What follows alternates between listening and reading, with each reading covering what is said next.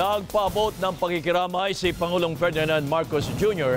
sa kaanak po ng limang Pinoy na namatay sa lumubog na Chinese vessel sa Indian Ocean noong May 16. Sa isang pahayag, siniguro ng Pangulo na tutulungan ng pamahalaan ang mga pangangailangan ng mga naulilang pamilya.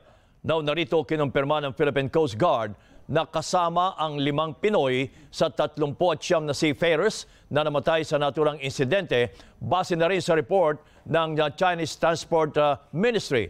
Nagpasalamat din ang Pangulo sa Australian at uh, Chinese Search and Rescue Team na sumaklolo sa karagatan sa kabila ng masungit na panahon. Nagpaabot na rin ng pakikiramay ang Chinese Embassy sa mga naiwang pamilya ng limang namatay na Pinoy crew.